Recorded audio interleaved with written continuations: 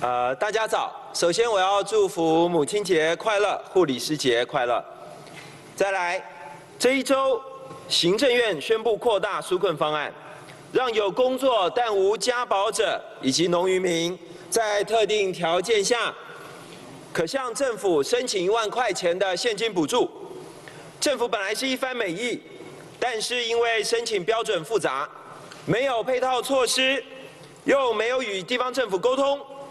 结果让各地民众在区公所大排长龙，第一线公务人员很辛苦，排长龙的民众其实更辛苦。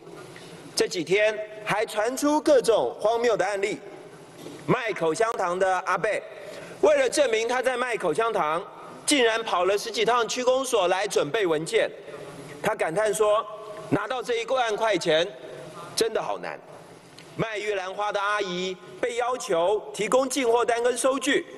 他骂说：“谁卖玉兰花会开发票？纾困纾成这样，根本是在整人。”卖地瓜的阿妈因为有领国民年金，结果不符合纾困的资格。他的疑问是：为何连他这一种一个月都赚不到一万块钱的，竟然还领不到？还有更多的例子是，失业的人被要求回头找雇主开证明，你叫人家怎么好意思呢？打零工的人连雇主都不认识，你叫人家去找谁开证明呢？户头没钱的人，你叫人家把存折拿出来，不是在伤害人家的尊严吗？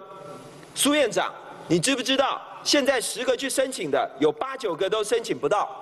请你自己到第一线去走走看，你就知道你的政府根本在刁难人民。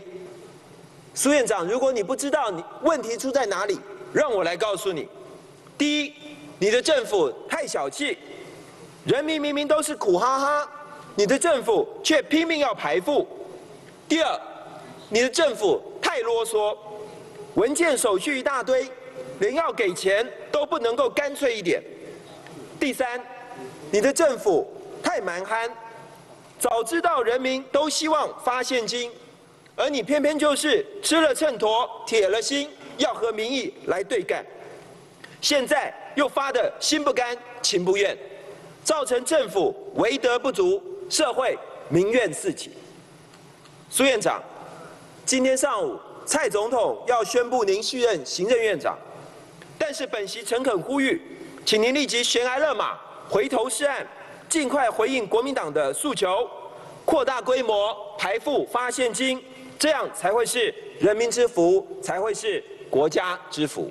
谢谢。